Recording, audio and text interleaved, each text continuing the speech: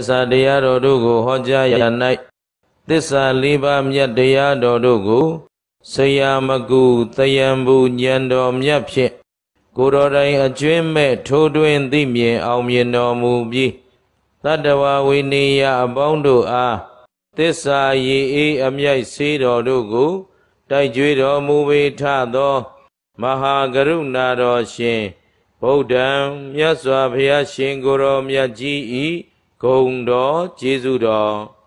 မြတ်စွာဘုရားရှင်ကိုယ်တော်မြတ်ကြီးကောင်းစွာဟောကြားဆုံးမတော်မူခဲ့၍ဆုံးမတော်မူသည့်အတိုင်းလိုက်နာကျင့်ဆောင်သောပုဂ္ဂိုလ်အပေါင်းတို့အားကျင့်ဆောင်သူတို့အလျောက်အခါမလင့်သော အကျိုးကျေးဇူးအထူးတို့ကိုပေးစီတတ်သောဓမ္မံတရားတော်မြတ်တို့ဤဂုံတော်ကျေးဇူးတော် မြတ်စွာဘုရားရှင်ကိုယ်တော်မြတ်ကြီးဤအဆုံးအမဓမ္မဒေသနာတော်တို့အားယနေ့နှစ်ပေါင်း2558ခုနှစ်တိုင်တိုင်အတွန်းရှည်တည်တံ့ခိုင်မြဲအောင် အစဉ်အဆက်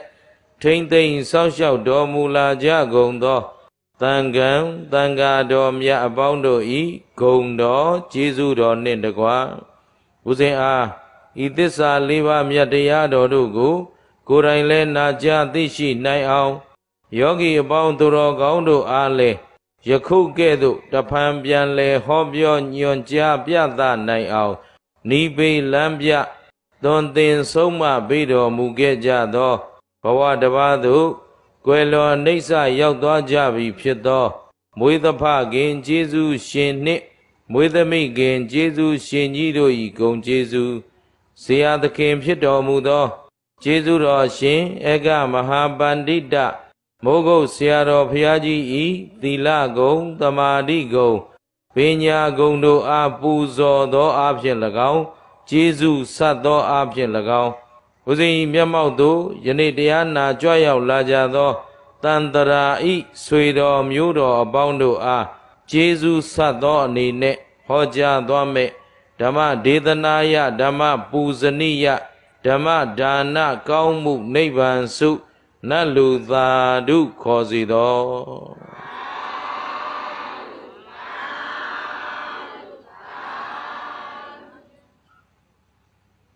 ကဲအလုံးသော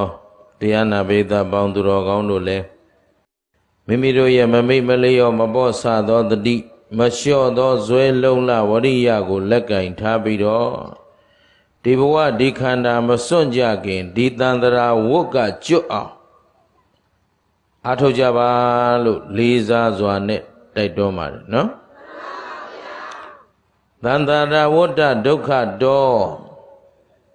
တန်တရာတန်တရာတန်တရာဆိုတာတကယ်တော့ဝတ္တလုံးလေလိုက်နေတဲ့ဒုက္ခတော့ဒုက္ခဒုက္ခ တွင်ကြီးပဲလို့ဘုရားရှင်ကိုရောမြတ်ကြီးကတတ္တဝါအားလုံးကိုတန်တရားအကြောင်းသိအောင်ပြောခဲ့တယ်နော်အဲ့တော့တန်တရာဆိုတာဘာလဲလို့မေးရင်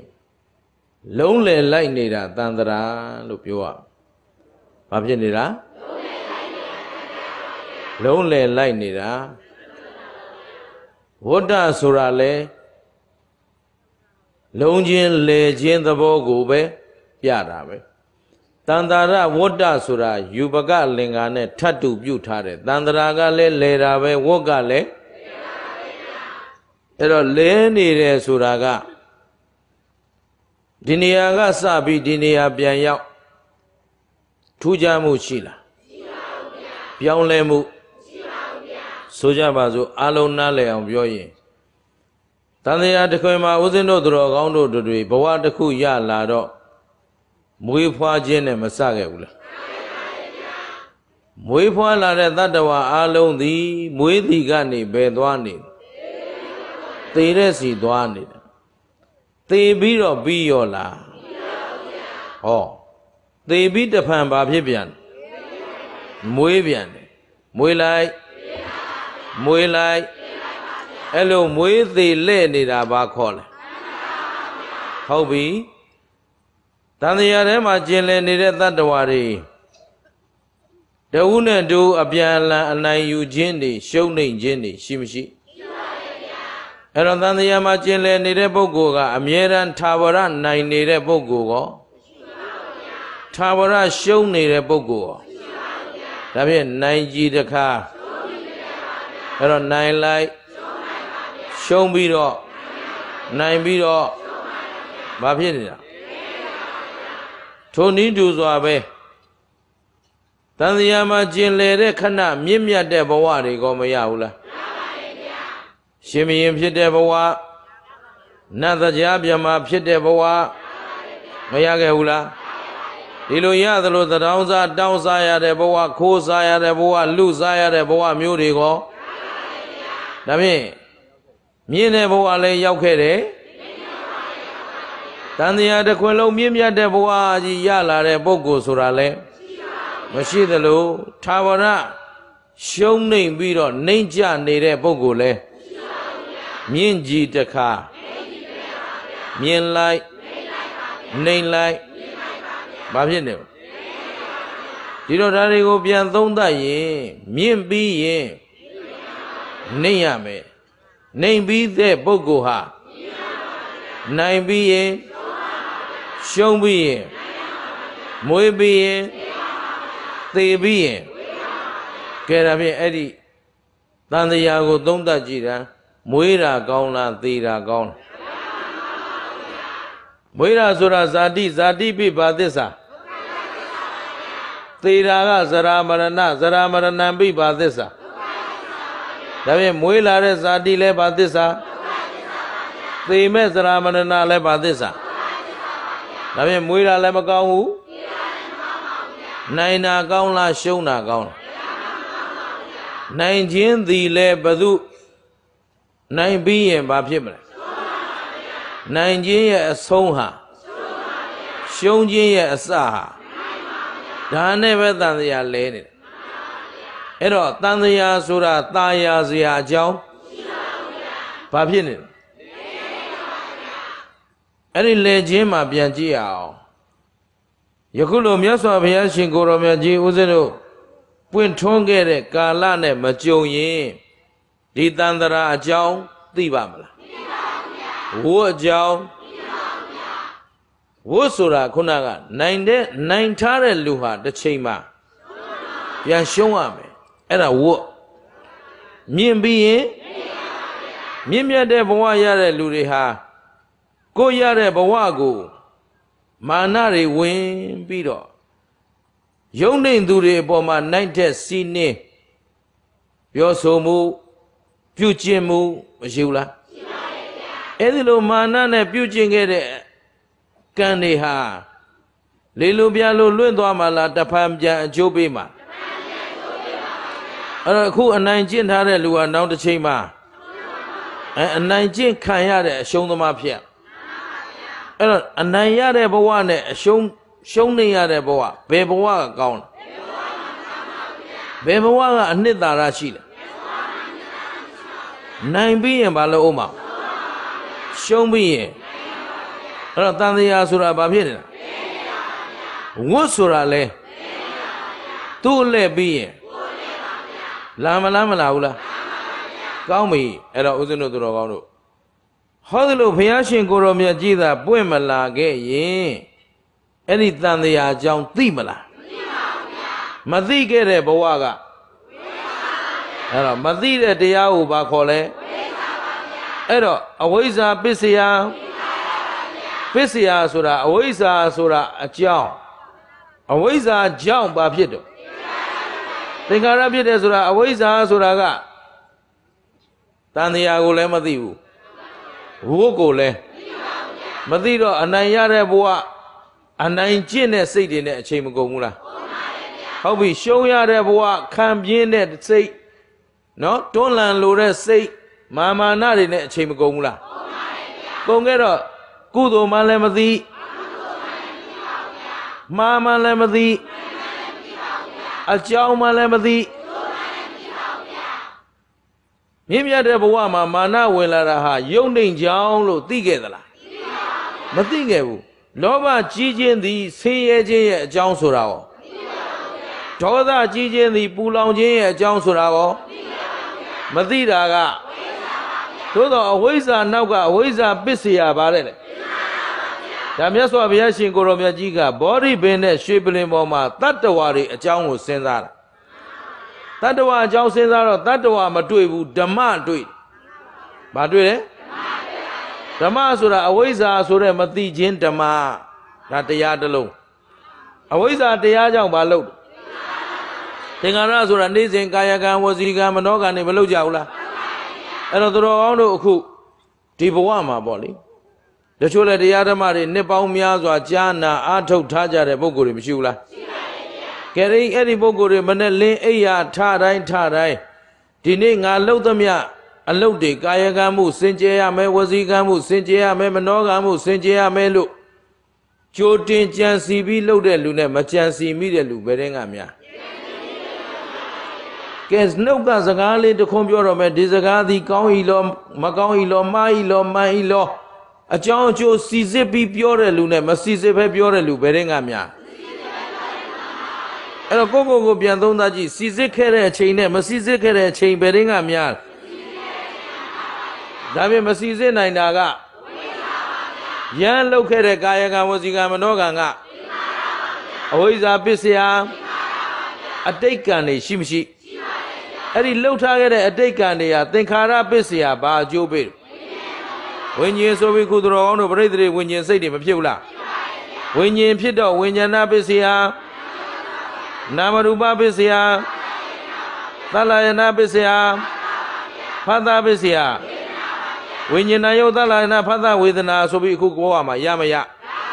ရလာတော့ဝိညာဏယုတ်သလယနာဖသဝေဒနာသည်သစ္စာဖွဲ့တော့ခုပရိသေဝိညာဉ်စိတ်ဖြစ်ရတာချမ်းသာသလားဆင်းရဲသလားအခုတို့တော်တို့နာယုတ်ကိုစီရမရ အခုတရားထိုင်နာနေတာပါကြီးလေယုတ်တရားနဲ့အဲ့ဒါထိုင်နေတာကယုတ်နာနေတာကကျင်တတ်တယ်နော်ကောင်းပြီအဲ့ဒီတန်ယုတ်ကြီးကရောအခုနံယုတ်ပိုင်ရှင်များချမ်းသာကြလားဆင်းရဲကြလား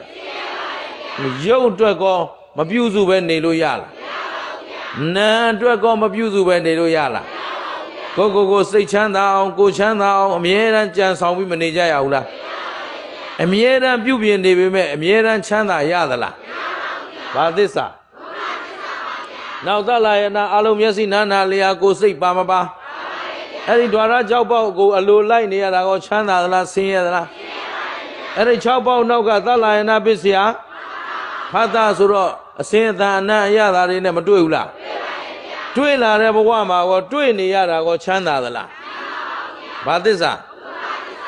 အဲ့တော့ဖတ်တာနောက်ကဘာလိုက်လဲနေ့စဉ်နဲ့မြတ်သူတော်ကောင်းတို့ခံစားမှုတွေရှိမရှိအဲ့ဒီခံစားမှုဝေဒနာကကောဒုက္ခလားဒုက္ခလားမေးတော့အော်ကောင်းပြီဟောဒီရထားတဲ့ဝိညာဏယုတ်သလာယနာဝေဒနာဘာသစ္စာဒီဒုက္ခသစ္စာကြီးကအလိုလိုဖြစ်လာတာလား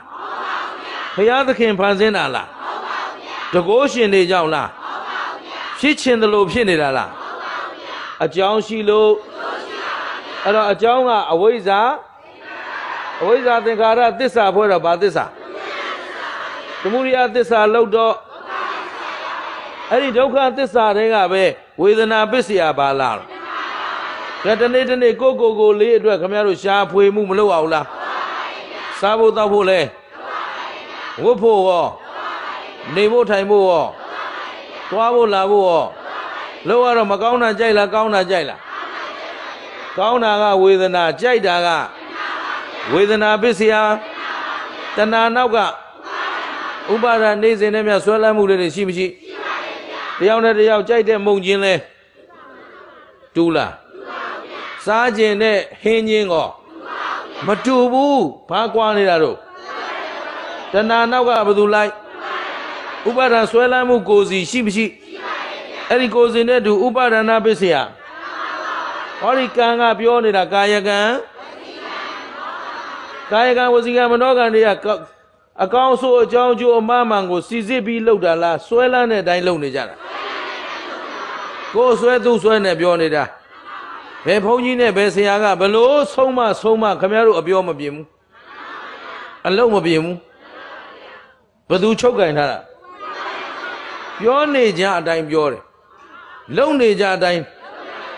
ကုသိုလ်အကုသိုလ်သိနေပေမဲ့လဲအာကုသိုလ်ပါဆိုတာကိုရှောင်သလားဟောအချိန်ပြည့်ခင်ဗျားတို့ကျုပ်တို့ကလှုပ်သမျှကံတွေကိုအုပ်ချုပ်ထားတာကတောင်းဟုတ်ဆရာကျေးဇူးရှင်မိုးကုတ်ဆရာတော်ဘုရားကြီးကအဝိဇ္ဇာနဲ့တဏှာအရင်ကံဥပါဒံကံကြောင့်ယုံနံပေါ်လက်ရှိဘဝလုံနေတဲ့ကံတွေကလည်း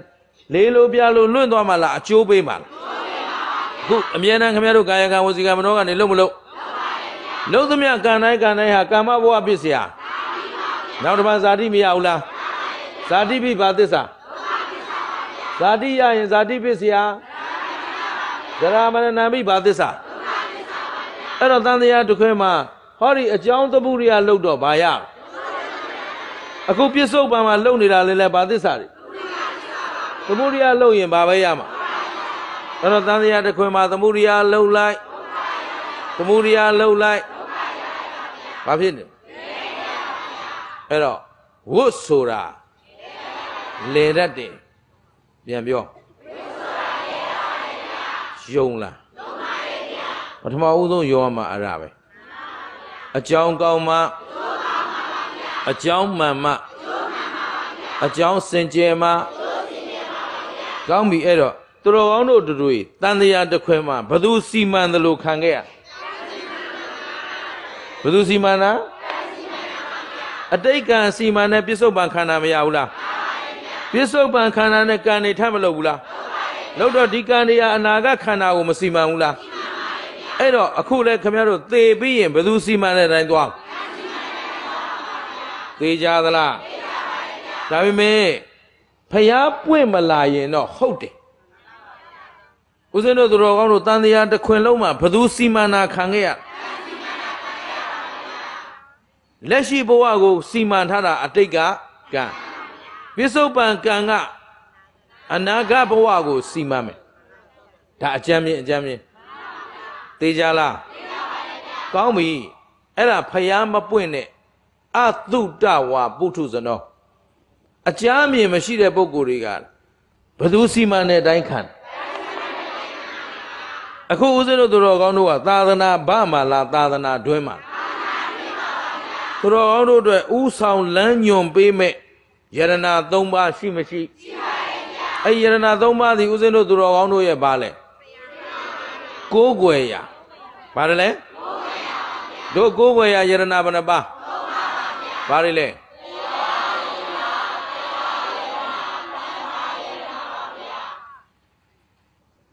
တော့ကင်းပါကဟာတွေတော်တော်ရိုင်းတာဟမ်ယရနာ၃ပါးဘာတွေလဲ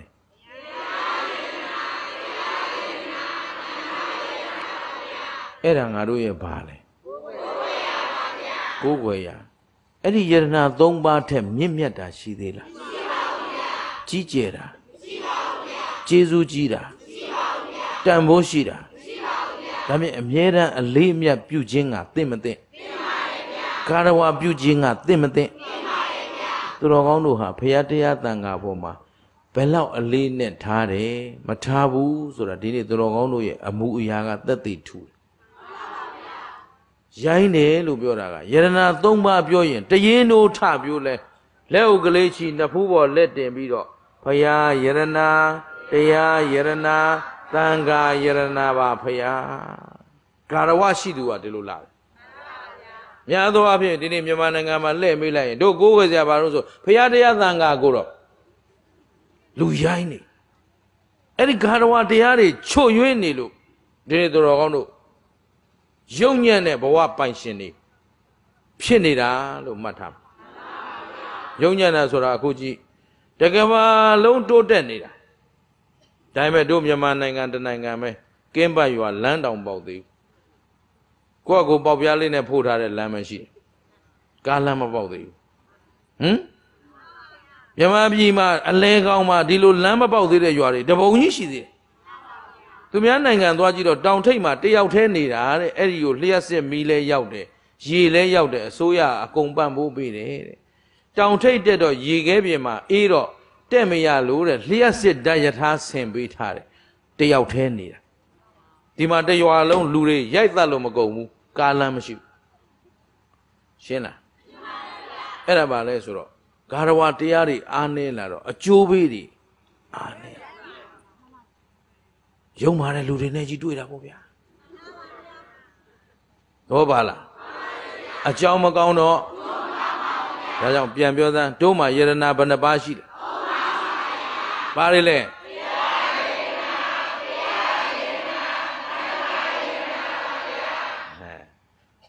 မူကြိုသင်တန်းတော့အဆင်ပြေသွားပြီမှတ်ထားအဲ့ဒါမသိမရှင်းကိုးဆိုတာယုံကြည်ကိုးစားစရာတို့ထဦးဇင်းတို့သူတော်ကောင်းတို့မှာဖရာတရားတန်ခါထက်ယုံကြည်ထိုက်တဲ့တရား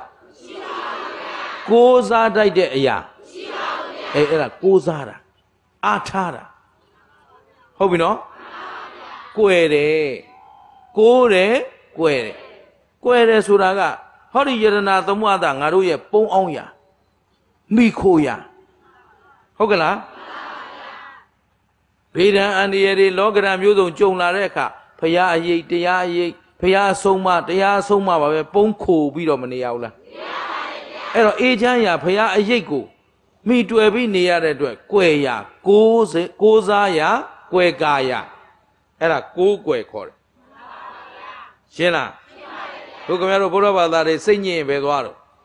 ဘုရားသွားတာဒါကလူမှန်နေပြောတာနော်ဟိုလူယုံမာတွေကြအရက်ဆိုင်ရောက်တာပေါ့ရှင်းတယ်နော်အားထားရအမှန်ရှိတဲ့လူကြတော့ဘုရားရိပ်တရားရိပ်သွားမေတ္တာလေးပို့တရားလေးထိုင်ပရိလေးစိတ်ဟုတ်ကလားဘုရားတရားတန်ကအရေးမှာခိုးလုံးတာကျင်နာသလားအဲခုဒုက္ခသုရယုံသာဟိုမှာမုံတိုင်းဖြစ်တယ်နာကိဖြစ်တယ်ဘာညာဆိုတော့ဘယ်ပြေးကတ်တုံးဆိုဘုံကြောင့်ပြေးကတ်တာပါပဲဟုတ်ကလားဟိ အဲ့တော့ဘုရားတရားတန်ခါဒီငါတို့တော့ကိုးစားရကွယ်ကာယဟုတ်ကလားဘုရားတရားတန်ခါနဲ့အကွယ်ကာယမရခိုးလုံးစရာဖြစ်မဖြစ်โอเคဒါတတ်တအဲ့တော့ဘုရားတရားတန်ခါကိုကိုးကွယ်တဲ့နေရာမှာဘုရားတရားတန်ခါဤအရေးကိုခိုးပြီးတော့ကတ်စားဖို့လားမဟုတ်ပါဘူးဗျာဘုရားရဲ့တကိုးတော်တွေကိုမိခိုးပြီးနေဖို့လားမဟုတ်ပါဘူးဗျာမဟုတ်ဘူး ဦးဇင်းတို့ကိုးကွယ်တယ်ဆိုတာဘုရားတရားတန်ခါဤဘာကိုကိုးကွယ်တာအဆုံးမဘာကိုကျင့်သလားအဲ့တော့အဆုံးအမရဦးဇင်းတို့တော်ကောင်းတို့ကမြတ်စွာဘုရားရှင်ရဲ့အဆုံးအမတွေရှိမရှိရှိပါတယ်ဗျာဘုရားအဆုံးအမဘာတွေလဲပြန်ပြောစမ်းဒီပြင်ပါရှိသေးတယ်အဲ့ဒီသီလသမာဓိပညာဆိုတာကလည်း အလိုလိုပြည့်စုံလာမှလားဖြစ်ကျင့်ယူရမှာတယ်ဖြည့်ကျင့်ဖို့ဘုရားကလမ်းပြမပြဘုရားအဆုံးအမတွေရှိမရှိအဆုံးအမကိုနာခံလိုက်တာနဲ့ပြည့်စုံသွားတာလားကိုကိုယ်တိုင်ကျင့်ယူရမှာလားအဲ့ဒီသီလသမာဓိပညာဟာဦးဇင်းတို့သူတော်ကောင်းတို့ရဲ့အင်အားတွေလောကရန်ကိုရင်ဆိုင်ဖို့ဘာနဲ့ရင်ဆိုင်မှာလဲလို့မေးရင်သီလ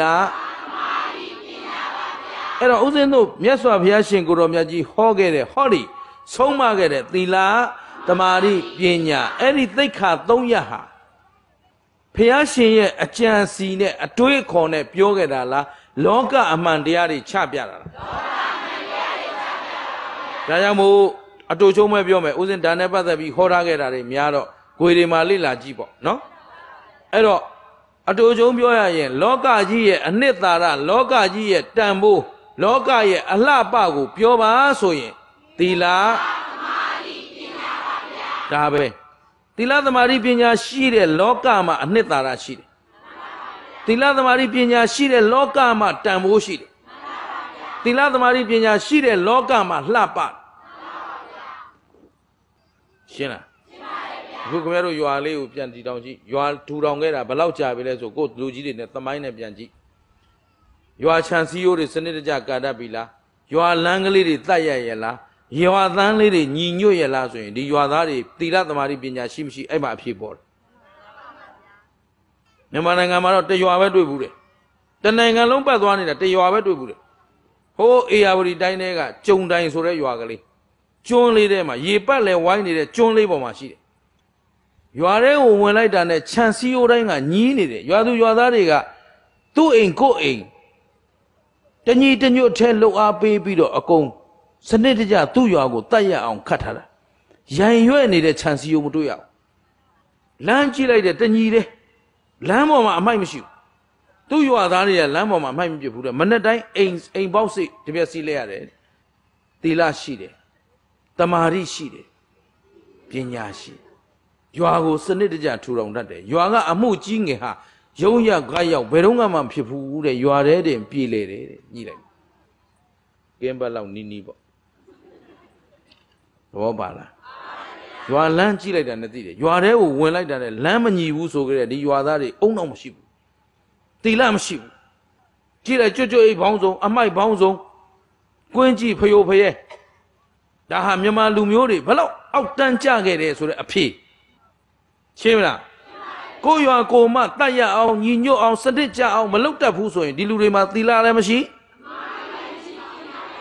သီလသမာဓိပညာမရှိတဲ့လောကဟာအလှပလဲတန်ဖိုးလဲအနှစ်သာရလဲထိုနည်းတူစွာပဲဘဝတစ်ခုသူတော်ကောင်းတို့ရဲ့ဘဝတွေအိမ်ထဲဝင်ကြည့်လိုက်တာနဲ့ဒီအိမ်စနစ်တကျနေတတ်သလားထိုင်တတ်သလားဒီအိမ်ကလူတွေစီကံရှိမရှိကြည့်လိုက်အဝစာဟိုဟိုတပုံဒီတပုံထမိန်ကဟိုပုံဒီပုံနော် ဟိုနေရာကြွကြွအိတ်တွဲလန်းဒီနေရာတောင်းကတွဲလန်းပလောင်းကတွဲလန်းဟိုနေရာငုတ်ဝင်ရဒီနေရာငုတ်ဝင်ရပင့်ကူအိမ်နေနဲ့ဒီအိမ်ဟာသီလာလည်းမရှိဘူးရှင်းလားသီလသမာဓိပညာမရှိတဲ့ဘဝဟာအနှစ်သာရရှိပါဘူးဗျာတန်ဖိုးရောရှိပါဘူးဗျာအလှပရောရှိပါဘူးဗျာအဲ့ဒါအချင်းကျုပ်ပဲဒီထက်တော့ဦးဇင်းတို့ဖရာသားတော်တပားအနေနဲ့ပူမပြောနိုင်တော့ ဒီလိုပြောတာကိုပဲတချို့ကဥဒုမင်္ဂလာတရားဟောတာကြမ်းတယ်ပြောတယ်လို့ရှိသေးတယ်ကျို့လည်းဘယ်နာကြမ်းမိမှန်းကိုမသိဘူးရှင်းတယ်နော်ဒါပြင်သီလသမာဓိပညာမရှိဘဲနဲ့လောကကိုတိဆောက်လို့ဘဝကိုတိဆောက်လို့အဲ့တော့အနိတ္တာရကိုရအောင်ယူဖို့လိုအပ်မလို့อ่ะတန်တရားဆိုတာဝတ်ဆိုတာအဲ့တော့ဒီလေချင်းလုံးချင်းကနေလွတ်အောင်ထွက်ဖို့ဆိုတော့ကံစီမံတဲ့အတိုင်းခံကြမလား ညံနဲ့စီမံမလားဒါကြုံမေးတာတကယ်ကခင်ဗျားတို့ကိုယ်တိုင်အသိဉာဏ်ထဲမှာရှိနေရတန်တရားတစ်ခွင်လုံးကဘယ်သူစီမံခဲ့တာအဲ့တော့ကံမိကံဖနဲ့ပဲနေခဲ့တာတရားရှိဘယ်သူနဲ့နေမလဲအဲအဲ့တော့တစ်ချိန်တုန်းကကံစီမံသလိုခံခဲ့တာဒီနေ့ မှားနေတယ်ဉာဏ်ဆိုတာကလာစီမံမှာမဟုတ်ဘူးကိုယ်တိုင်အားထုတ်ယူရအပြောအဆိုလမ်းညွန်မှုကိုကမှားခဲ့လို့ဉာဏ်စီမံတဲ့အချိန်စောင့်နေကြရှင်းလားဉာဏ်ဘယ်တော့မှလာမစီမံဘူးကိုယ့်အကိုလုပ်ယူရမှာရှင်းတယ်နော်ဒါဖြင့်အသေးမဥခင်ဒီထဲမှာမသေးမဲ့လူ သေကဝေးတယ်လားသေကနီးတယ်သေကြတယ်နော်ကောင်းပြီဒါဖြင့်ဦးဇင်းတို့ဝတ်ဆိုတာလဲမလဲပဲနေမှလားလဲမှလားအဲ့တော့တန်တရားမှာငါတို့ကဘယ်လိုကံမျိုးတွေလုပ်ခဲ့မှန်းလဲမသိတော့ဒီဝတ်ကြွေးတွေမလာခင်ဟုတ်ပြီနော်အိယာဖြာကမလဲခင်ဘာနဲ့စီမံနိုင်အောင်โอเค အဲ့တော့ဒါလေးကိုဝတ္ထုဥပမာလေးတစ်ခုပြမြတ်စွာဘုရားရှင်ကိုရောမြတ်ကြီးသာဝတိပြည်ဇေတဝန်ကျောင်းတော်မှာသတင်းသုံးပြီးတကလနေတော့ယဟန်လေးတစ်ပါးဘုရားရဲ့ကျောင်းတော်မှာပဲအဲ့ဒီယဟန်လေးကဘုရားကျောင်းတော်မှာယဟန်ပြုတ်ပြီးတော့ဘုရားရဲ့အဆုံးအမတွေခံယူတရားအထုတ်နေတာအကြောင်းမလားတော့တနေ့ကျတော့ဒုက္ခနာကိုမှာအနာတွေပေါက်လာဘာတွေဖြစ်လာနာတွေပေါက်ပါဗျာ အဲ့တော့ဘယ်ချိန်ဘာဖြစ်မယ်သိလားသိပါဘူးဗျာဘယ်သူကစီမံနေတာကံကစီမံနေတာဟုတ်ပြီနော်အဲ့တော့ကံအကျိုးပေးကအခုကောင်းပေမဲ့ခဏနေကောင်းခြင်းမှသူ့အလှဲ့ကြတဲ့ကံအကျိုးပေးမှာဒါကြောင့်တို့ရှေးလူကြီးတွေပြောတဲ့စကားရှိတယ်လှန်ထမ်းလာတာမြင်ရတယ်တဲ့အခုသားရဲ့သမီးရဲ့ဆွေရဲ့မျိုးရဲ့အစဉ်ပြေနေပေမဲ့ခဏနေဟုတ်ချင်မဟုတ်တော့မှာနော် သဘောပါသလားကြည့်တော့ဒီဒီဟန်လေးလဲရဟန်းဝတရားအထုတ်နေရင်းနဲ့အစာခတ်လျှော့လျှော့နေမှာပေါ့လှုပ်တော့လှုပ်နေတာပဲဒါပေမဲ့အဲ့ဒါလိုလှုပ်ရင်းနဲ့အနာတွေပေါက်လာတာခန္ဓာကိုယ်ပေါ်မှာအလုံးအဖုဖုတွေပေါက်ပေါက်ပြီးတော့အဲ့ဒီအနာသေးသေးလေးတွေပေါက်ရကနေတဖြည်းဖြည်းအဖူကြီးတွေဖြစ်လာအဖူကြီးတွေကနေပေါက်ကွဲပေါက်ကွဲပြီးသွေးတွေပြည်တွေနဲ့အပေါက်အပေါက်တွေခန္ဓာကိုယ်မှာဖြစ်ကုန်ဘာတွေဖြစ်ကုန်လဲ အဲ့တော့အပေါက်တွေများလုံးတော့သူ့ကိုပုတိကဋ္ဌာလို့ခေါ်တယ်ဘာလဲလဲပုတိကဋ္ဌမထေဘေးကယဟန်တွေကလည်းဂိလာနာယဟန်ကိုသူနာပြုယဟန်တွေကပြုစုကြပါတယ်စောင့်ရှောက်ကြပါတယ်ဒါပေမဲ့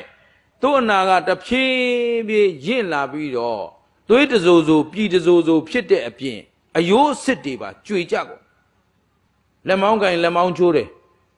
ပေါင်ကင်ရင်ပေါင်ချိုးတယ်ဆိုတော့ဘယ်သူမှမထိရဲတော့ ရှင်းလိုက်ဘာတွေလဲအဲ့ဒါဝတ်ကြွေးတယ်ဗါတဲ့ဘယ်သူကစီမံအလှည့်ရောက်လာပြီဟုတ်ပြီနော်အဲ့တော့အဲ့ဒီလိုနေတော့သူ့ကို ပြုစုမဲ့ပုံကိုယ်တော်မရှိတော့သင်္ကန်းတွေလည်းသွေးတွေပြည်တွေစိုးပြီးကျင်ကြီးကျင်ငယ်တွေနဲ့အလိမ့်လိမ့်အဲ့ဒီမှာမြတ်စွာဘုရားရှင်ကိုတော်မြတ်ကြီးက ဘုရားရှင်တို့ရဲ့ဓမ္မရာအတိုင်းမနဲ့တစ်ချိန်ညနေတစ်ချိန်လောကရကြီးကိုကြည်တယ်မနဲ့ဆိုရင်ဟိုးစัจ java လာအနာယီလောကရဲ့အပြင်ဘက်ကနေတဖြည်းဖြည်းကန္နာကုတ္တိစီကိုချွတ်ရမယ့်ပုံကိုယ်တွေကြည်လာမနဲ့ဆိုအဝေးရစတယ်ပေါ့ညနေကြည့်တဲ့အခါကျတော့အနီးကနေအဝေးကိုပြန်ဖြတ်ဟုတ်ပလားဘာလို့ဆိုမနဲ့ကြတော့အချိန်ရသေးတာဟုတ် အဲ့တော့ဝေးဝေးရကြည့်တော့ဝေးဝေးရတွေ့ရဆိုရင်ချက်ချင်းသွားလိုက်လို့ရညနေကြတော့အချိန်နည်းသွားပြီဆိုတော့ကျောင်းတော်ကနေပဲအနီးနားကိုဖြည်းဖြည်းချင်းကြည့်သွားအဲ့လိုကရုဏာသမဘာကြည့်တော့ဘုရားရှင်ရဲ့ဉာဏ်တော်ကွန်ရက်ထဲမှာဘာပေါ်လာလဲဆိုတော့ပုတိကတ္ထပေါ်လာဘယ်သူပေါ်လာပုတိကတ္ထပေါ်လာပါဗျာ။အော်ငါသားတော်ပုတိကတ္ထမထေအလွန်ပင်ပန်းဆင်းရဲနေပါလား။ငါဘုရားမှမကယ်ရင်လဲကယ်မဲ့လူ မရှိတော့ဘူးဆိုမြတ်စွာဘုရားရှင်ကိုရောမြတ်ကြီးကညနေဆောင်မှာတပားတည်းပဲထွက်သွားတယ်။ပုရိကတ္တနေတဲ့ကြောင်းသားသွားပြီးတော့ရင်နွေးအိမ်ထဲမှာရင်နွေးတယ်ဘုရားရှင်ကိုရောမြတ်ကြီးကိုယ်တိုင်တယ်ဘာလို့ရင်နွေးတယ်ရင်နွေးမိထိုးပြီးတော့ဆူလောက်အောင်စောင့်ဆူပြီးဆိုတော့မှပုရိကတ္တကျောင်းကိုသွားပြီးတော့ပုရိကတ္တဂဒင်ကိုဘုရားရှင်ကိုရောမြတ်ကြီးကမပြီးတော့တုတ်တင်ရှင်းလင်းဖို့လှုပ်တော့မှနောက်ကယဟန်နေလာတယ်ဒါထုံးစံပါပဲ နော်ခေါင်းဆောင်ကလုံမယ်ဆိုတော့မှတပည့်တော်လုံပါပါဗျာတပည့်တော်တာဝန်ထားပါဗျာဆိုတော့လုံတတ်တာလူလောကုတ်တွေထုံးစံပေါ့နော်ကျုပ်တို့လည်းအဲ့ဒီလောကုတ်နဲ့ခံခဲ့ရပါဦးများလာပါလက်ထဲမှာမဖြစ်မနေပစ္စည်းလေးတွေကင်လာတယ်တွေ့ရင်အလုတ်ဆရာကင်ဆရာဆိုတာကိုဓာတ်ကိုအယံသင့်ရှိနေမှာအဲ့တော့တပည့်တွေကဘာလို့ဆိုဘုန်းကြီးကင်ထားတာပေးပေးတပည့်တော်ပေးဆိုအဟုတ်မှလို့ပေးလူချင်းလို့တောင်းဘယ်တော့မှမရဘူးအဲ့လိုနော်ဘုံကံကြီးတဲ့လူတွေဒီလိုပေါ့ဗျာ အဲ့တော့မြတ်စွာဘုရားရှင်ကိုရောမြတ်ကြီးဆိုတော့ဘုရားနောက်ကနေကြည်နေတဲ့ပုံကိုယ်တွေကမြတ်စွာဘုရားရှင်ကိုရောမြတ်ကြီးကြွလာတွေ့တယ်ရင်နွေးတယ်တာတွေ့တယ်နောက်ဒီလူမမာကရင်ဆိုတော့ဒီလူမမာကသွေးတွေပြည်တွေအလိမ့်လိမ့်နဲ့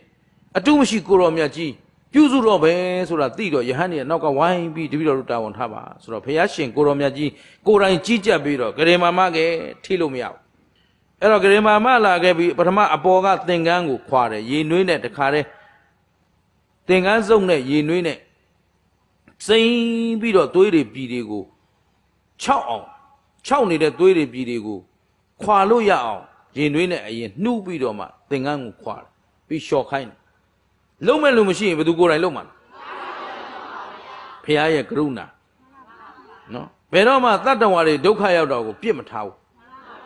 လစ်လူမရှိဘူးဖះသားတော်မှန်သမျှဟာလဲဒီလိုပဲရှင်းရလားအဲ့တော့အမှ ဂိလာနာပြုစုမဲ့လူမရှိတော့ဘုရားရှင်ကိုရောမြတ်ကြီးကိုယ်တိုင်ကြီးကြပ်ပြီးတော့အပေါ်ယံဧကတိသင်္ကန်းကြီးကိုလျှော်ခိုင်းတယ်လျှော်ပြီးတော့လှမ်းခိုင်းတယ်လှမ်းခိုင်းပြီးတော့ခန္ဓာကိုယ်အပေါ်ကသွေးတွေပြည်တွေကိုဒီရင်နှွေးနဲ့တခါတည်းနှူးပြီးတော့တန့်ရှင်းပြစ်ဒီတော့ပုရိကထမှာကဒီအနာတွေနဲ့ပြစ်ထားတာကြာလာပြီဆိုတော့သူ့မှာအမတန်စိတ်ဆင်းရဲကိုဆင်းရဲမဖြစ်ဘူးလားဖြစ်ပါတယ်ဗျာဒါပေမဲ့သေပြီလားဆိုတော့မသေသေးဘူးမသေသေးဘူးဆိုတော့ဒီဒုက္ခတွေ तू ပြင်းထန်စွာဘာဖြစ်ဟေးခင်ဗျားတို့လည်းဘယ်ယောဂနဲ့သိမှာလဲဘယ်လိုသိမှာလဲဘယ်သူပြုစုဖို့စာချုပ်ချုပ်ထားမလဲရမလားตาရင်သမီးရင်ဆိုအဲ့လိုဖြစ်နေတဲ့အချိန်ကတ်မဲ့ထင်လားကျင်တတ်လားအဲ့တော့အသေးမဥခင်ဒါကြောင့်ကျေးဇူးရှင်မိုးကုတ်ဆရာတော်ဘုရားကြီးကပြောတာအဲ့တော့ဗုဒ္ဓဂထမှာဒုက္ခရောက်နေပြီ အမှန်တန်ပြင်ပန်းဆင်းရဲနေတဲ့အချိန်ဘုရားရှင်ကိုရောမြတ်ကြီးကရုဏာနဲ့တန့်စင်ပေးတယ်အဲ့တော့အပေါ်ကသွေးတွေပြည်တွေတန့်စင်သွားတဲ့အချိန်ပဲတဲ့အပေါ်ရန်ဧကတိသင်္ကန်းကြီး6 6တော့အဲ့ဒီသင်္ကန်းကြီးကိုတခါတည်းခောက်လာပြီးတော့ကိုယ်ပေါ်မှာလွှမ်းပေးပြီးတော့အောက်ကသင်းမိုင်ချွတ်သင်းမိုင်လျှော်ခိုင်းတယ်အောက်ပိုင်းတန့်ရှင်းရေးလို့ဂရင်မောကဖြားတွေပါတွေလဲဂရင်ကိုနေလန်းအစရှိသည်ဖြင့်သူ့ကိုတတ်တတ်ရရတန်တန်ရှင်းရှင်းဖြစ်အောင်ဘုရားရှင်ကိုရောမြတ်ကြီးကိုယ်တိုင်ကြီးကြပြီးတော့ ဆောင်ရွက်တယ်ဆောင်ရွက်တော့သွေးပြည်တန့်ရှင်းသွားတဲ့အချိန်မှာပဲခုနလျှော်ထားတဲ့သင်းမိုင်6တယ်သင်းမိုင်ပြန်ဝတ်ပေးတယ်ဧကတိပြန်ဝတ်ပေးတယ်ဝတ်ပေးပြီးတော့ပြည့်ပြည့်စုံစုံစင်ကြင်ကြဲကြဲဖြစ်တဲ့အချိန်မှမြတ်စွာဘုရားရှင်ကိုရောမြတ်ကြီးကပုတိကထမထေရဲ့ခေါင်းရင်းကနေပြီးတော့တရားဟောတယ်ဘာလို့လဲဘုရားရှင်ကိုရောမြတ်ကြီးကဘာပြောလဲဆိုတော့အစိရံဝတယံကာလော ပထဝီအဓိသစ်တတိသုဒ္ဓောအဘိဒဝိညာဏောနိရထံဝကလိန်ကရံဆိုပြီးတော့ဘာပြောသလဲဆိုတော့တိတ်တာပုရိကတတိတ်တမြည်သောจิตသားယဟံအယံကာလော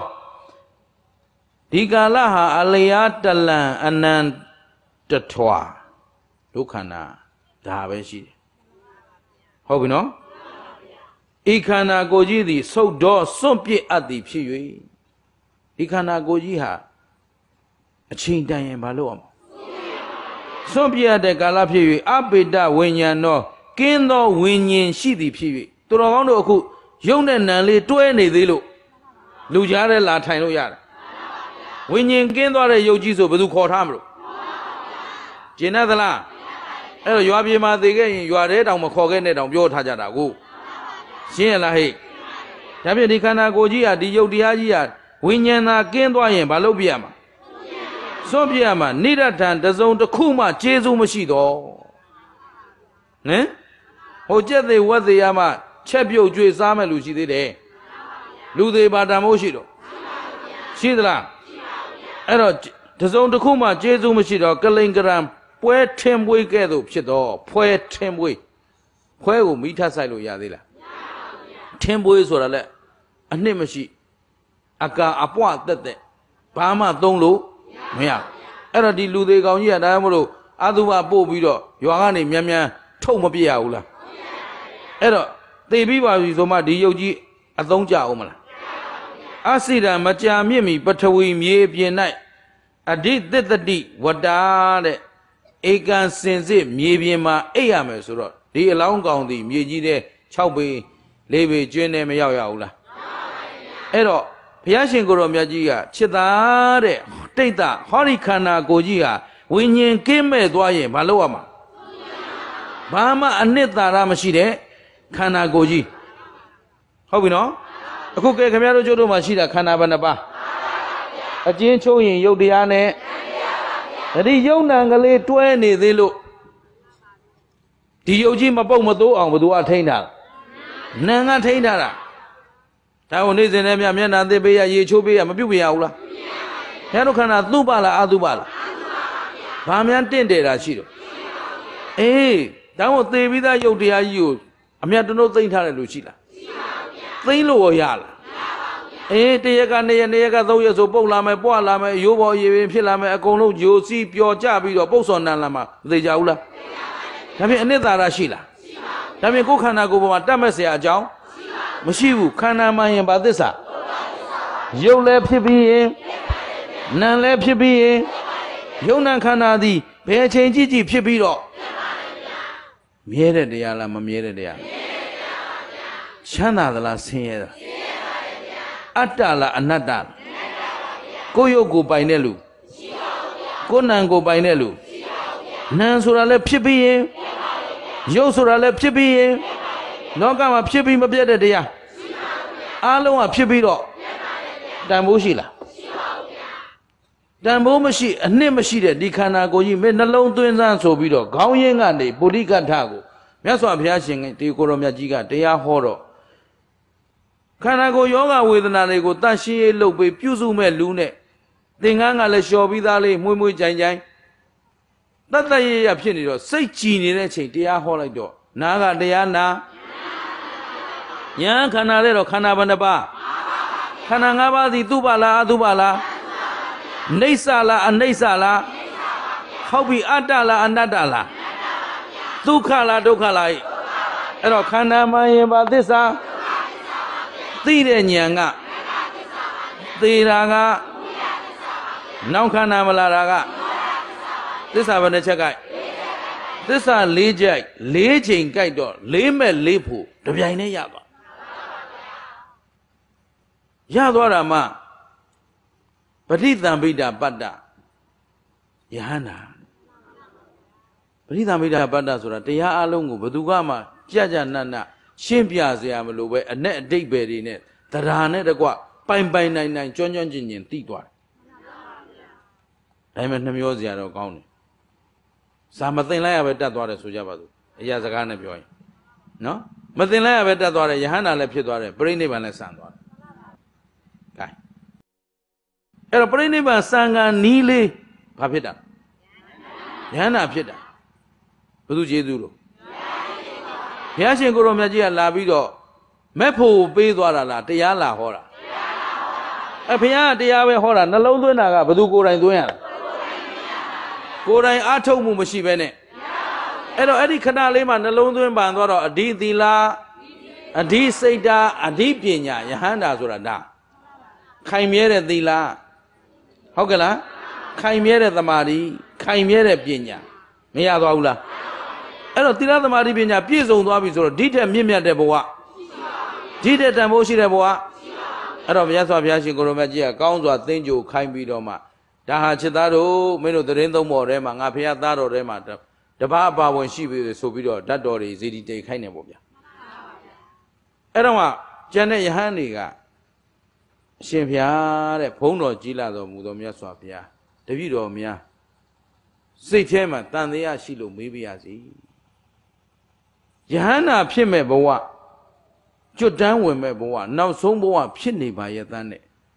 ဘာကြောင့်ဒီလောက်ပင်ပန်းဆင်းရဲသောယောဂဝေဒနာတွေနဲ့ဒီလောက်ဆိုးဝါးတဲ့ကံကြမ္မာကြီးဝတ်ကြွေးကြီးကိုခံရပါသလဲဗျာဒီလိုယောဂပြင်းပြင်းထန်ထန်နေလူပမာတောင်မှအပေါင်းဖော်ကမပြုစုခြင်းလောက်အောင် ပြုစုမရလောက်အောင်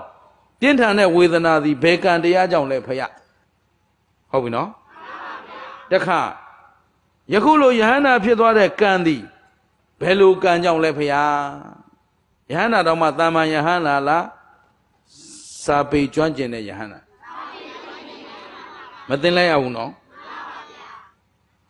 ဒီတော့ယဟန်တွေကအံ့ဩပြီးမေးကြပြီးတော့မှမြတ်စွာဘုရားရှင်ကိုရမြတ်ကြီးကချစ်သားတို့တဲ့ကောင်းတဲ့ကံဟာကောင်းတဲ့အတိုင်းအကျိုးပေးတယ်ဗါတဲ့ဒါဖြင့်မကောင်းတဲ့ကံဟာ အကြောင်းကောင်းမှအကြောင်းစင်ကြယ်မှမကောင်းတဲ့ကံပြုတ်ထားတဲ့လူကို မကောင်းချိုးမပေးပါနဲ့လို့ကောင်းတဲ့ကံပြုတ်ထားတဲ့လူကို ကောင်းချိုးမပေးပါနဲ့လို့အဲ့တော့ယဟန္တာဖြစ်တာကတကံယောဂဖြစ်တာကရှင်းရှင်းတယ်နော်ဒါဖြင့်သူတော်ဟောတို့မှာရောကုသိုလ်လှုပ်ထားတာတွေရှိမရှိရှိပါရဲ့ဗျာအကုသိုလ်လှုပ်ထားတာတွေရှိပါရဲ့ဗျာ ဒါဖြင့်အကုသိုလ်အကျိုးပေးလာရင်ဆိုးကျိုးတွေလာမလားမလာဘူးလားအဲ့ဒီလာတဲ့အချိန်ကျမှအဖေကဲပါမေကဲပါလှုပ်လို့မရပါဘူးဗျာကြည်ပုရိကထရှင်းသားတို့တဲ့အတိတ်ကိုဆောင်ရရင်ရှေ့ကသဗ္ဗဘုရားရှင်လက်ထက်တုန်းကဟောဒီပုရိကထမထေဟာအရာရှိတယောက်နားမှာခစားရတဲ့ကက်ခတ်မုတ်ဆိုးဖြစ်ခဲ့တယ်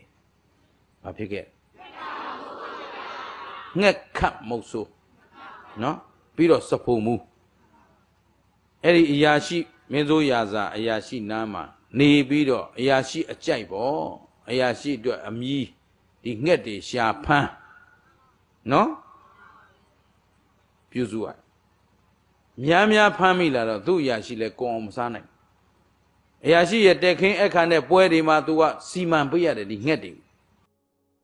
စီမံတော့များများမိထားတဲ့အခါကျတော့အရာရှိရဲ့ပွဲတွေနဲ့မကုံတော့ဒီငှက်တွေကို तू က तू ရောင်းစား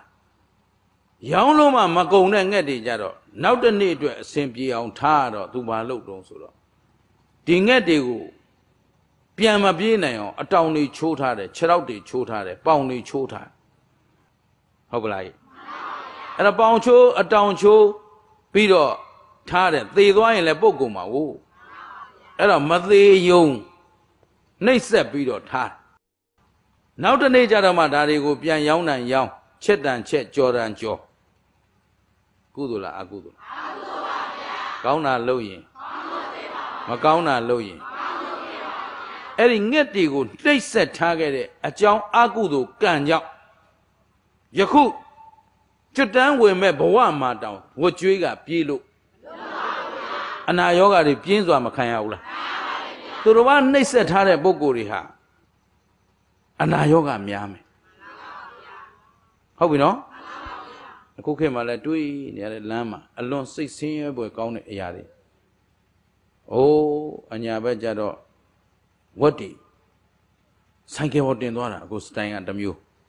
လက်နှစ်ဖက်တုပ်ခြေထောက်နှစ်ဖက်တုပ်နောက်နှုတ်သီးကြီးချီအရှင်ကိုဆိုင်ကယ်ပေါ်မှာနောက်ကတင်းပြီးစီးသွားတယ်။တတ်မဲ့နွားတွေ ကာယီဒဇင်းပေါ်မှာမဆမပြည့်တင်တရက်ကမြန်တွေးလိုက်ရတယ်နွားနွားနောက်ဆုံးကနွားတွေဟာနောက်ကပိတ်ထားတဲ့တကပိတ်နဲ့အမီးနဲ့တိုက်ပြီးအနာတွေဖြစ်နေပြီလှုပ်လှုပ်လှုပ်လှုပ်နဲ့ညက်နေအောင်တင်ထားတော့ယုံလို့လည်းမရတကောင်နဲ့တကောင်အမတန်ကတ်နေရတော့တကောင်တကောင်အပူအပူလောင်ခံရဆင်းရဲဒုက္ခတွေခံနေရတာ ဟာမတွေ့ခြင်းအဆုံးတွေ့နေရတော့ကြက်တွေကိုတခါတည်းဇောက်ထိုးချီပြီးတော့ဆိုင်ကယ်မှာဟိုဘက်ထိပ်ဒီဘက်ထိပ်တင်းပြီးသွားနေတာမတွေ့ရောက်လားဩငရဲအိုးဇောက်ထိုးဆိုတာနောက်ဘဝမှာမဟုတ်ဘူးကွာအခုသေဖို့သွားတာတောင်ဇောက်ထိုးသွားကြည့်ပြီးတော့ဩဒီကောင်တွေကတော့ဝတ်ကြွေးကိုဘာနဲ့ဆက်ခန္ဓာနဲ့ဆက်နေတာ ဆက်ရတဲ့ကောင်ကအဟောင်းကြွေးဆက်တာလှုပ်သွားတဲ့ကောင်ကကျွေးသစ်တင်တာဩဒီကောင်တွေလည်းဘာမှကံကံအကျိုးကိုနားမလဲပြုတ်နေကြတာကြောက်လိုက်တာဟုတ်ကဲ့အဲ့ဒီအသားတွေဆွန့်ကတ်တဲ့နေရာတွေ့ရင်ကိုကြောက်နေတာကျုပ်ကစောက်ထိရမှာကိုကြောက်အဲ့ဒီအကောင်တွေလာကတ်တိုင်းမျက်စိထဲမှာမြင်နေတာ။အော်ငါလည်းဒီလိုဘဝဘယ်နှခါသေးပြီဗလဲ သိဘူး။ဟုတ်ကလား။ဘယ်နှခါမိုက်မဲစွာအဲ့ဒါလိုကံနေပြုတ်ခဲ့ပြီလဲဆိုတာလဲကြည့်ဒီမှာပုရိကထသူ့ရဲ့အထက်အရာရှိ boss ကိုပြုစုလှုပ်ကျွေးဖို့အတွက်ဒီငှက်တွေဖားတယ်တတ်ဟုတ်ကလားတတ်ပြီးတော့ဗသိမရှင်ကြံနေတဲ့ငှက်တွေကိုတခါတည်းလောင်အိမ်နဲ့ဘာနဲ့ထားဖို့လဲသူခမအဆင့်မရှိဘူးထင်ပါရဲ့ဒီတော့ အတောင်တွေချိုးပေါင်တွေချိုးထားတဲ့အကုသို့ရှိမရှိရှိတော့ဒီဘဝမှာသူ့မှာအနာတွေပေါက်လာပြည်တွေသွေးတွေယူလာပြီးလက်ထိလက်ကျိုးတယ်ခြေတော့ထိရင်အဲ့တော့ပြုစုတဲ့လူပြုစုလို့ရသေးလားမရတော့ဘူးအဲ့တော့ကိုပြုထားတဲ့အတိုင်းကိုထံ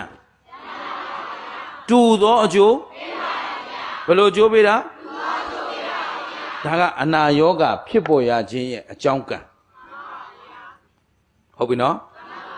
ကောင်းပြီအနာယောဂဖြစ်ပေါ်ရခြင်းနဲ့အတူနောက်ကကျွတ်တန်းဝင်သွားတဲ့ကုသိုလ်ကောရှိမရှိရှိပါရဲ့ဗျာအေးအဲ့ဒါကြတော့မြတ်စွာဘုရားရှင်ကိုရောမြတ်ကြီးရဲ့ခြေသားတို့တဲ့ကျွတ်တန်းဝင်ရတဲ့ကံကတော့ဒီလိုကွာတဲ့တရက်မှာအဲ့ဒီငက်ခံမုတ်ဆိုးဟာသူ့ရဲ့အရာရှိအတွက်ပြင်ဆင်ပြီးတဲ့အခါသူကိုယ်တိုင်သူ့မိသားစုနဲ့စားဖို့ဆိုပြီးတော့ထူးထူးလဲလဲ ဖွဲ့ဖွဲ့ရရစီမံထားတဲ့ငှက်သားဟင်းကိုသူကြကြနနချက်သူကိုယ်တိုင်လည်းဒီငှက်ကိုကြိုက်ဟုတ်ပြီနော်ငှက်သားဟင်းကိုကြကြနနချက်ပြီးတော့သူစားဖို့ပြင်ဆင်နေတော့ယဟန္တာအရှင်မြတ်ကြီးတပားကဖလားသမဘာဝင်စားရကနေထားလာပြီးသူ့အိမ်ရှိမှဆွမ်းငံကြွဆွမ်းငံကြွတော့ငက်ခတ်မုတ်ဆိုးကစဉ်းစားတယ်ဩတဲ့ငါကတသက်လုံးကုသိုလ်နဲ့နေတာလားအကုသိုလ်နဲ့ သူကသူလည်းသိတယ်နော်ဟမ်အခုဗုဒ္ဓဘာသာနိုင်ငံမှာကြီးပြင်းနေကြတဲ့ဘယ်ဘာသာဝင်ဖြစ်ဖြစ်သူများအသက်သက်တာအကုသိုလ်လို့တော့သိတယ်သိတယ်ခုဗုဒ္ဓဘာသာဝင်အပါဝင် များစွာသောပုဂ္ဂိုလ်တွေခိုးပြီးစီးပွားရှာနေကြတာရှိမရှိရှိပါရဲ့ဗျာသူတို့ကုသိုလ်အကုသိုလ်မှန်သိတယ်သိတယ်သိတယ်သိသိကြီးခိုးနေတာ ဟမ်မှုသားနဲ့စီးပွားရှာနေတဲ့လူတွေရောရှိပါရဲ့ဗျာမသိလို့လားသိပါရဲ့ဗျာဒီသိသိကြီးဒါပေမဲ့ तू ဝတ်ကိုတော့မမြင်လို့ပေါ့လေရှင်းတယ်နော်မတရားသဖြင့်တောင်းစားနေတဲ့အကောင်တွေရောရှိတယ်တရားကတရားအတိုင်းအကျိုးပေးမှာနော်အလှဲ့ကြမနှွဲ့နဲ့ပုရိကထကြည့်လှုပ်ကိုမလှုပ်နိုင်ဘူး အဲ့တော့ပုရိကထမထေလောင်းဟာစဉ်းစားတယ်တဲ့ငါတစ်သက်လုံးအကုသိုလ်နဲ့နေလာတာငါထီကိုငါထံကိုဘယ်အလူကံမှမလာဘူးအလူကံဆိုတာလူမဲ့လူစီလာမလားမလူတဲ့လူစီလာတာလားလိမ္မာတဲ့လူလာမလားမိုက်တဲ့လူစီလာမှာဘယ်ရသန္တမနာမှာဆုံးကမြတ်ဘူးဟမ်ရှင်းတယ်နော်ကောင်းပြီလူလိမ်မှန်းသိရင်အဲ့ဒီအိမ်သူတော်ကောင်းလာအောင်မလား မလာဘူးတခိုးမှန်းသိရင်ကောအဲ့ခိုးစားနေတဲ့အိမ်ကအလူပစ္စည်းတော့ဘယ်သူမှဆက်အလူမခံဘူးရှင်းလားကောင်းပြီ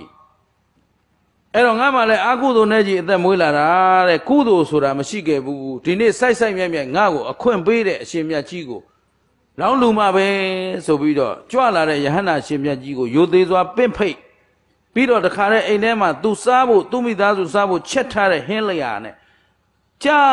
ကြာနာနာလှူဒန်းတယ်ဟုတ်ပြီနော်ဆွမ်းကတ်လှူဒန်းပြီးတော့မှဘာစုလေးတောင်းလိုက်လဲဆိုတော့ငှက်ခတ်မုတ်ဆိုးအရှင်မြတ်ဖရာတဲ့ယခုကဲ့သို့မော်မြတ်လာစွာသောဆွမ်းခဲပွဲဘောဇင်တို့ဖြင့်ဆက်ကလူတန်းရခြင်းရဲ့ကောင်းမှုကံစေတနာတို့ကြောင့်အရှင်ဖရာတို့သိအပ်ရအပ်သောတရားကိုတပည့်တော်သိနိုင်ရနိုင်မရစေဖရာတောင်းတဲ့စုကတခွန်းနဲ့ပဲ ဒါကြတော့လေတော်သွားဗျာဘာရှိတယ်လို့ပြောသူ့ကိုကယ်သွားတာပါလေညာကဲသွားတာဘယ်သူညာတော့ဖះဟောလို့ကျွတ်သွားတာလားသူ့အကြောင်းကံပါခဲ့လို့လားကံကိုသူပါနဲ့စီမံထားတာ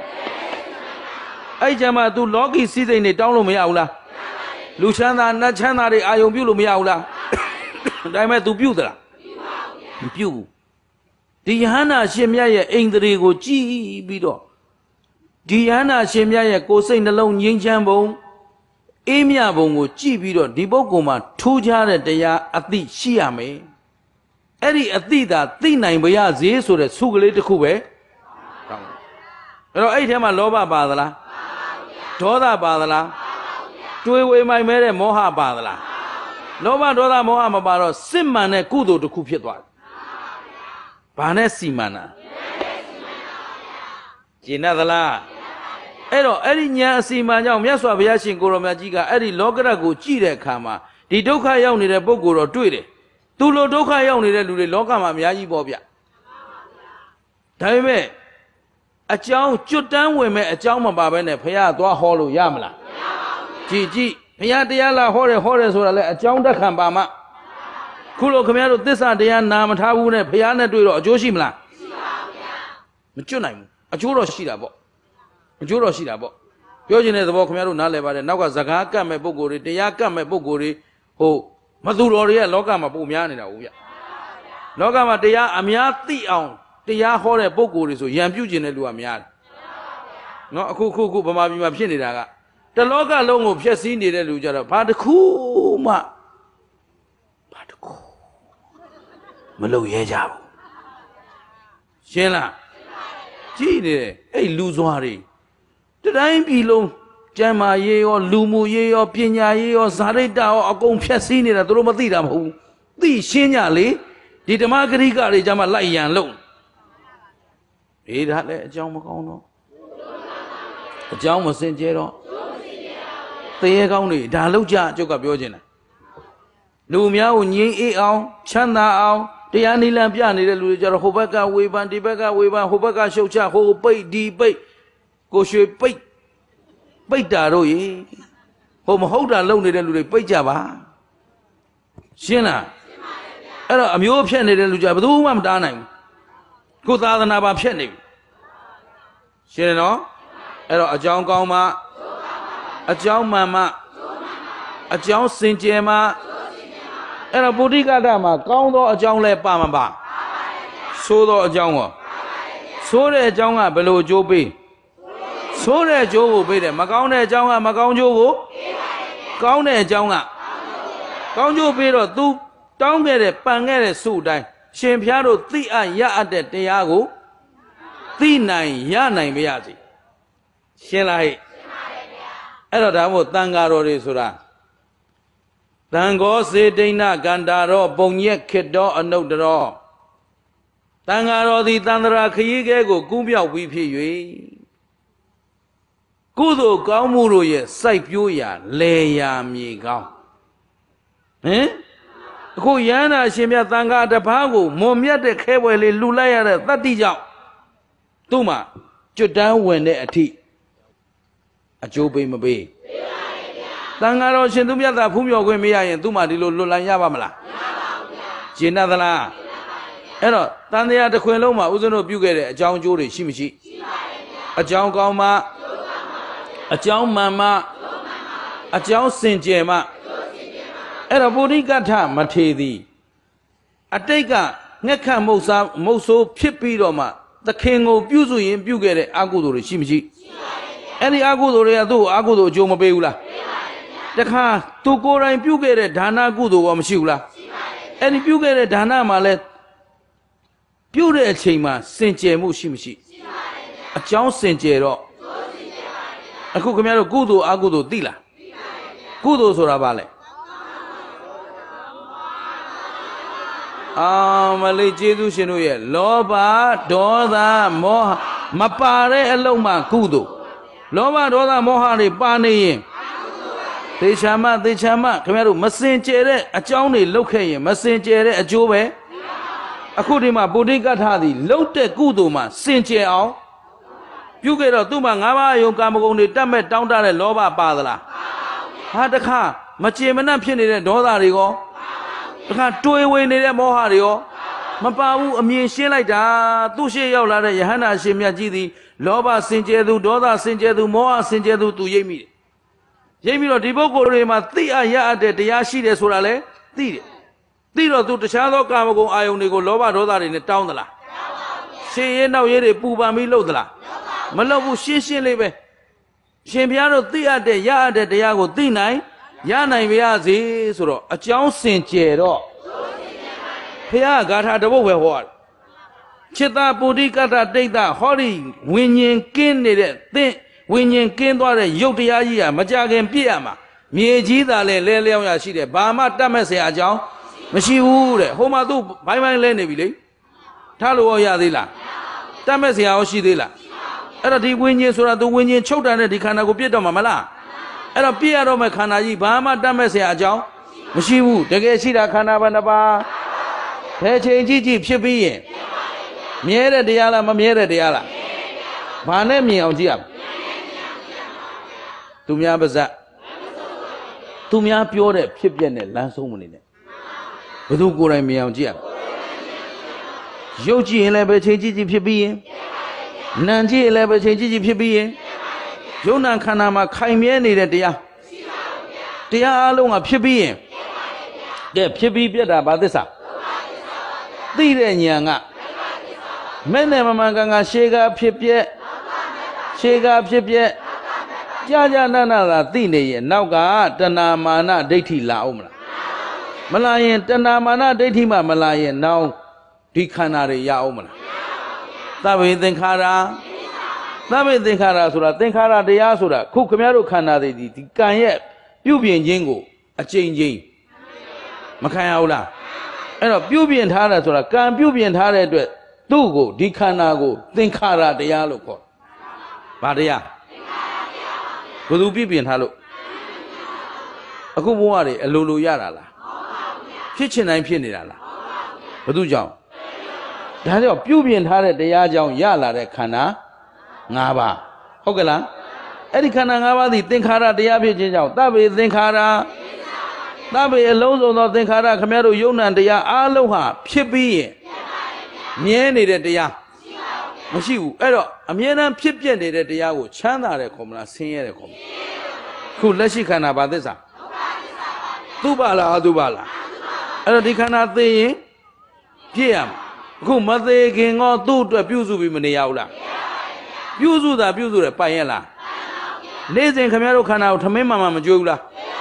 ကျွေးနေပေမဲ့ပြိုလာသလားအိုးလာသလားကြည်သားကြည်သား မဖွဲမရတွေချက်ကျွေးလို့လားတေချာဂယုတစိုက်များချက်မကျွေးလို့လားဘလောက်ကောင်းတာကျွေးကျွေးဒီနေ့ပြီးဒီနေ့အခုစေဝါဒစာတွေရောမတိုက်ကြဘူးလားအဲအခုကငယ်ငယ်ရွယ်ရွယ်နဲ့20ကျော်ကလေးကဆေးစားတောက်နေရတာဟမ်ဘာဆေးတွေဘလို့တောက်တောက်အိုချိန်တိုင်းရင်နာချိန်တိုင်းရင်သေချိန်တိုင်းရင်ပြစ်ချိန်တန်တော့ဘာများကိုပိုင်လဲ ခုခင်ဗျားတို့ရှာဖွေထားတဲ့စီးစိမ်ရောပိုင်လားအိုးအိမ်တိုက်တာရောဆွေမျိုးညာတကာရောအားလုံးဟာအချိန်တန်တော့တကယ်ကိုအားကိုးရမှာကကိုယ့်ရဲ့သီလကျင့်သလားအဲ့ဒီသီလသမာဓိပညာကိုအားကိုးထိုက်အောင်စီမံလို့ရမရဘာနဲ့စီမံ ဒါဖြင့်ကံစီမံလို့လို့သွားမလားညံနဲ့စီမံဒါဖြင့်တန်တရားနဲ့လဲမလားလွတ်အောင်လုပ်အဲ့တော့ဝတ်ဆိုတာစောင့်နေရမှာလားကျွတ်အောင်ပြေးရမှာအဲ့တော့ဝတ်ကျွတ်အောင်ကြိုးစားဖို့လိုအပ်မလိုအပ်ကြိုးစားမယ်ဆိုတတိထားခန္ဓာဘဏ္ဍပါဘယ်ချိန်ကြည့်ကြည့်ဖြစ်ပြီးရင်ကဲဖြစ်ပြီးပြတ်တာဘာသစ္စာသိတဲ့ဉာဏ်ကသေတာက နောက်ခန္ဓာမလာတာကသစ္စာဘယ်နှချက်ကြိုက်အေးကဲသို့သစ္စာလေးချက်တစ်ပြိုင်တည်းကြိုက်မှသာလျင်တန္တရာဝတ်တွင်းကလွတ်ကင်းနိုင်မှာဖြစ်တဲ့အတွက်မမေ့မလျော့မပေါ့ဆာသောတတိမလျှော့သောဇွဲလုံးလဝရိယလက်ကင်ထားပြီးတော့ဒီဘဝဒီခန္ဓာမစွန့်ကြခင် အသေးမဥခင်ညံဥအောင်အာထုတ်ပြီးတော့ဝတ်ကြွရအမှန်ကိုရအောင်ကြိုးစားကြပါစို့လို့တိုက်တွန်းရင်းနဲ့နာကြစို့